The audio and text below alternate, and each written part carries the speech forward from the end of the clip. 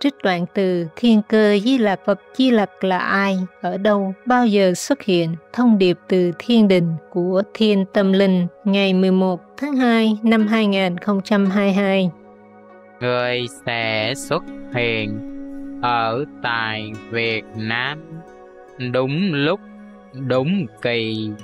Các con chuẩn bị cho mình thời khắc Di lạc xuất hiện là niềm vui lớn cho toàn nhân loại chỉ trong hai năm. Please continue watching for Prophecy Part 320 How to Escape the Great Retribution of the End Times, Taking Refuge in the Unsurpassed Maitreya Buddha, the all powerful Dharma Wheel Turning King.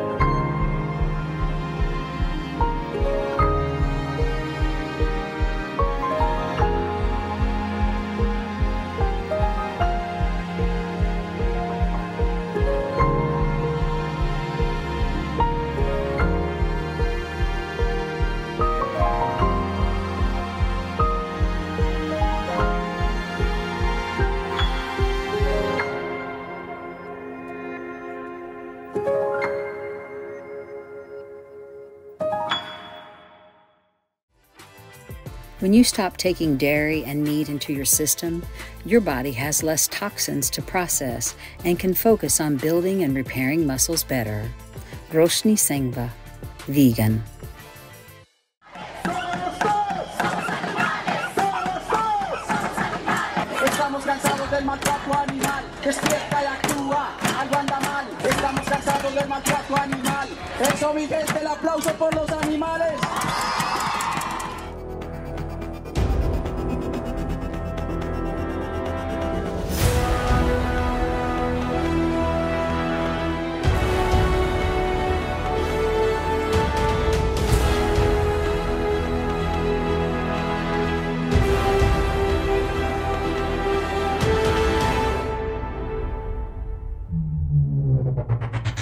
Xin gửi lời chào nồng nhiệt đến quý khán giả kính mến.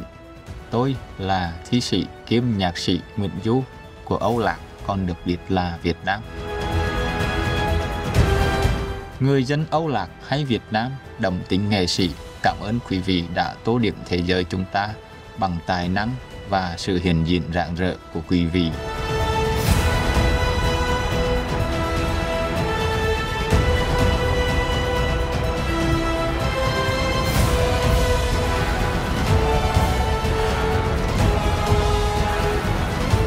Cầu mong quý vị được ban cho những ý tưởng và cảm hứng cao thượng từ thiên đàng để giúp biến thế giới này thành thiên đường cho muôn loài.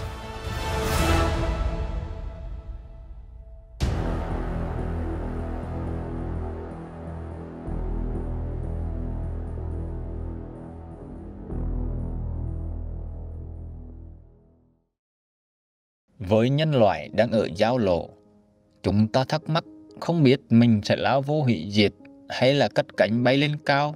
Khi tâm chúng ta khao khát, muốn biết định mệnh của mình, chúng ta quay sang những manh mối và thông điệp để lại bởi các vị tiên kiến, chư thánh và các đức tiên tri quá khứ.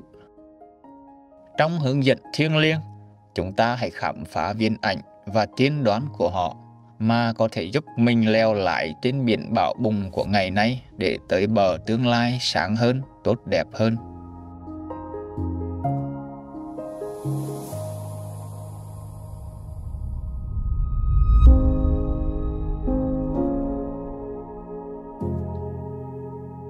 Nhiều hội viên chúng tôi đã và đang tu pháp thiền quán âm cùng Ngài Thanh Hải Vô Thượng Sư thuần cháy kính yêu nhất đã biết danh tính thật của Ngài một thời gian lâu rồi. Tuy nhiên, phải đến ngày 14 tháng 7 năm 2024, cuối cùng sư phụ mới xác nhận công khai rằng Ngài thật sự là Đức Phật Di Lặc, Chúa Giêsu Kitô, vị chuyển luân thánh vương mà chúng ta hằng mong đợi. Sư phụ biết rõ nguy hiểm, sự chế giễu, hoài nghi và chỉ trích mà Ngài có thể đối diện khi tiết lộ điều này cho đại chúng. Nhưng Ngài vẫn làm như vậy theo yêu cầu của Thượng Đế. Đây chỉ là một ví dụ về sự hằng phục thiên ý hoàn toàn của sư phụ và sự tận tâm hết lòng của Ngài để phục vụ chúng sinh. I didn't want to reveal it, but God made me. And after I revealed it to you, I asked God three more times whether or not it is the right thing to do, to reveal to you my real identity. Or if not, please let me delete these parts because I don't know how people would react. And I also don't know how to react to their reaction. Yes, I just do not uh, feel very comfortable talking directly, honestly, and openly like that about what I am.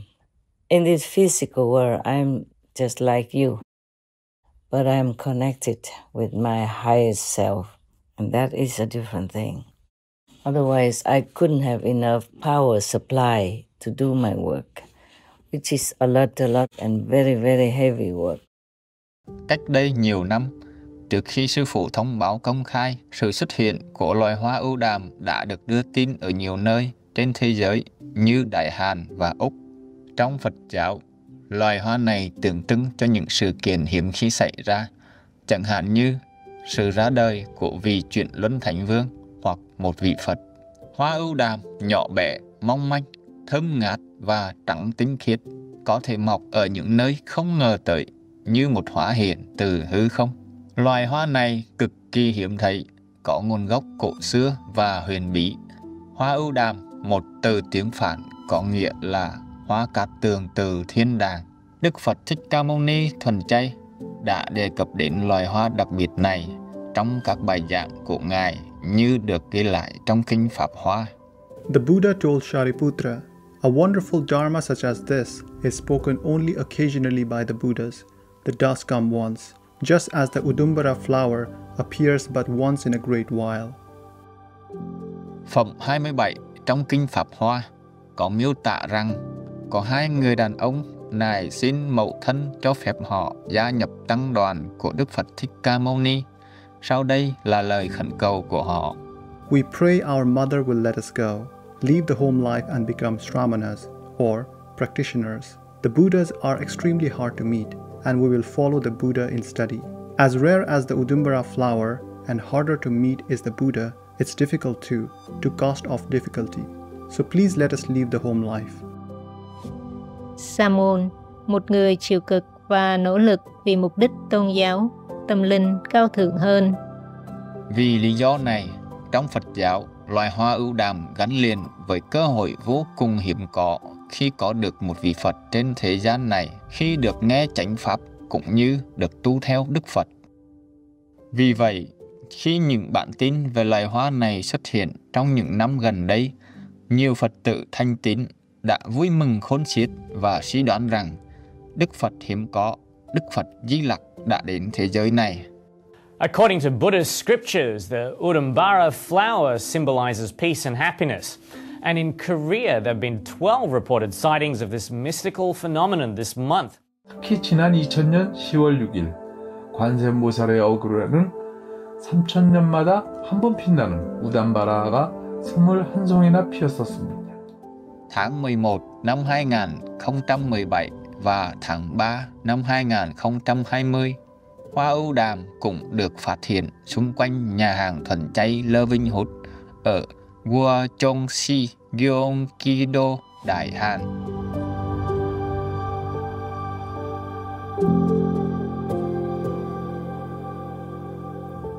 Điểm lành này đã khích lệ rất nhiều để các hội viên chúng tôi tiếp tục kiến tạo, thế giới thuần chay và thế giới hòa bình.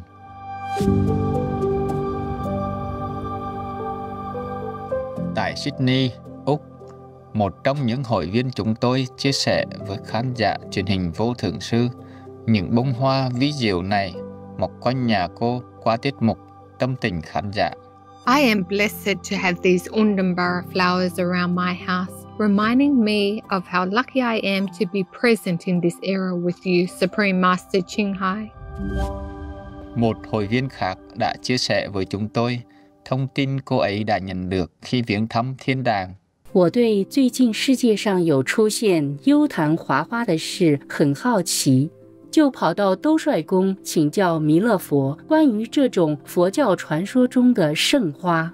这是弥勒佛在天堂的法身常住在此。他告诉我，之前青海无上师为世界受苦受难时，天人们常悲伤地为师父撒下的小白花。就是这种幽昙华花，只是这种花在天堂比较大朵，在地球既罕见又长得很小朵。那是因为地球没有足够的纯净，能栽培出这种花。天堂为师傅撒下这种幽昙华花，既代表青海无上师就是弥勒佛在地球的化身，也代表师傅的牺牲之心纯净无比。Năm 2022, kênh YouTube của một người Âu Lạc hay Việt Nam có tên là Thiên Tâm Linh đã đăng một thông điệp liên quan đến thiên cơ về Đức Phật Di Lặc với những tiết lộ đáng kinh ngạc. Mục tiêu của kênh này là tiết lộ một số bí mật của thiên đàng giúp con người thức tỉnh. Trích đoạn từ Thiên cơ Di Lạc Phật Di Lặc là ai, ở đâu, bao giờ xuất hiện, thông điệp từ thiên đình của Thiên Tâm Linh ngày 11 tháng 2 năm 2022. Thông điệp từ thiên đình Thiên cơ Di Lặc. Giáng lúc 16 giờ 13 phút, Ngày 3 tháng 1 2022 Con ơi Di Lặc, đã đà xuống thế, xuống tại thế gian, ở nơi Hoa Kỳ như trong sấm tràng lưu bút ngày nào? Đó người xa xứ, không ở Việt Nam. Người đã hạ phàm, từ nhiều thập kỷ, Mật danh mật ẩn Để chờ tới kỳ. Khi mà thế giới định hình trở lại Thời cần một vị thánh nhân giúp đời, Ta thời cho hay Thánh Vương Di Lặc hiện nơi trần thế. Không ai biết được, người mang thân phàm, nhân đã đắc đạo từ nhiều kiếp trước, nay chuyển xuống trần tạo đất, tạo duyên cho người trần thế. Nay mai thế giới vượt qua đại hạn, ác trượt với dần, thì cũng là lúc người hiện cho thấy thần thông của mình để biến giấc mơ trở thành sự thật người không xưng danh, trí huệ song toàn, vượt tầm thời đại. Cho nên người phàm khó lòng biết được, ta đà hé lộ. Để con từng bước ổn định lòng tin ở nơi thường để không còn mê chấp danh hình tướng sắc. Di lặc phật vương mang thân xác phàm, không gì đặc biệt. Nhân tâm của người vô cùng trong sáng. Người mang dấu ẩn trên vầng trán cao, một ánh hào quang chứa hình thế giới ai đủ đức duyên mới mong thấy được. Đó là dấu ấn ngọc hoàng thượng đế ban xuống nhân gian. Kỳ ba thời mạt, giáo hóa chúng sanh, đi vào đường đạo. Bằng cả trí thức lẫn tâm thiện lành người sẽ xuất hiện ở tại Việt Nam đúng lúc, đúng kỳ. Các con chuẩn bị cho mình thời khắc di lặc xuất hiện là niềm vui lớn cho toàn nhân loại. Chỉ trong hai năm Thông điệp này cho thấy rằng Đức Phật Di Lặc đã ở trên thế gian mấy chục năm rồi. Tiên tri nói rằng Đức Phật Di Lặc ra đời tại Âu Lạc hay Việt Nam, nhưng Ngài không sống ở Âu Lạc hay Việt Nam, mặc dù Ngài đã là vị Phật toàn giác với trí huệ viên mãn, thẩm thâm vi diệu vượt thời đại. Nhưng Ngài trông có vẻ bình thường nên rất nhiều người không thể nhận ra Ngài ngoại trừ những ai có đủ đức hạnh và hữu duyên. Tất cả những điều này dường như miêu tả Ngài Thanh Hải Vô Thượng Sư thuần chay kính yêu nhất của chúng ta. Đáng kinh ngạc hơn là thông điệp tiên đoán vào năm 2022 rằng sự thi hiện của Đức Phật Di Lặc sẽ xảy ra vào năm sau, tức là năm 2024.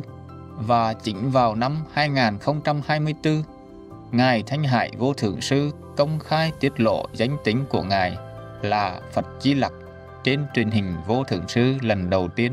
Thông điệp này cũng kêu gọi mọi người đón nhận Đức Phật Di Lặc và không nên bỏ lỡ cơ hội quý báu này.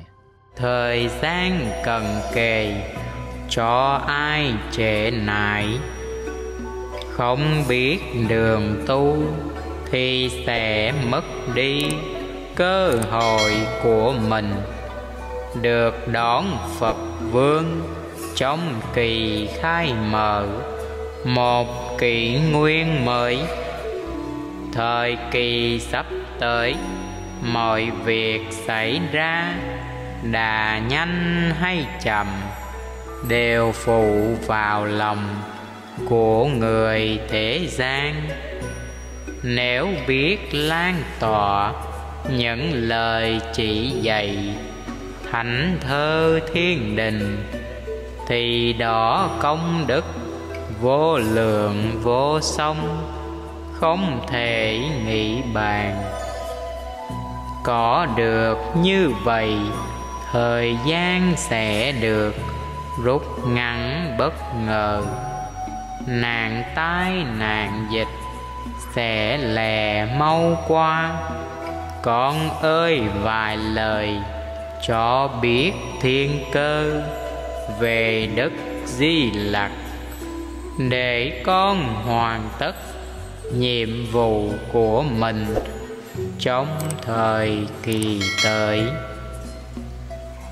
Ba tiếng sấm nổ, người thời hiện diện, các con ngoan hiền, hãy mau cuối lạy để được hồng ân.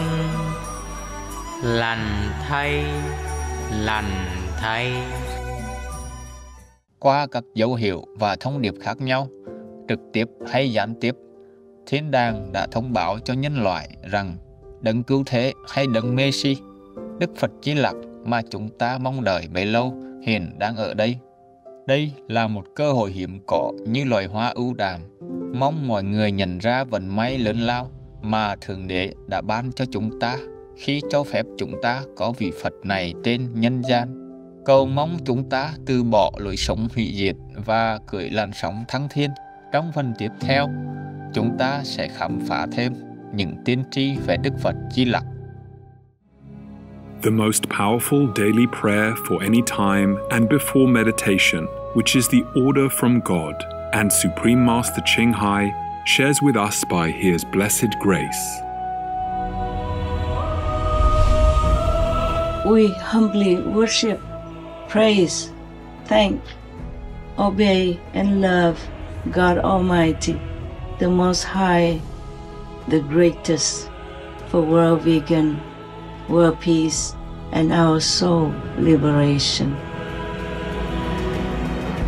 We thank, love, praise the only Son of God, who is the ultimate Master for our salvation. We follow the teaching of all the saints and sages. We thank, love, and praise them who are the representatives of God for our spiritual elevation.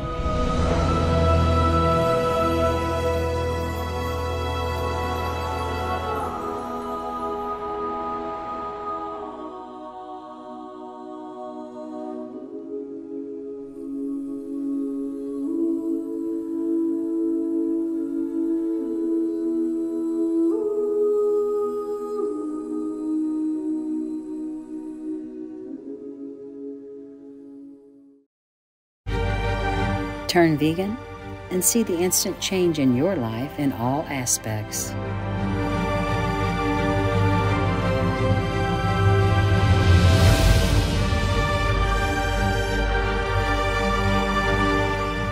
Introspective viewers, thank you for your company today. Please join us next week for the next episode of How to Escape the Great Retribution of the End Times, taking refuge in the unsurpassed Maitreya Buddha, the all-powerful Dharma wheel turning king. Coming up next is The Right Decision Avoids Hurting Others, Part 1 of 2 on Between Master and Disciples. Please stay tuned to Supreme Master Television. May the divine melody soothe your heart and bring peace and joy to your life.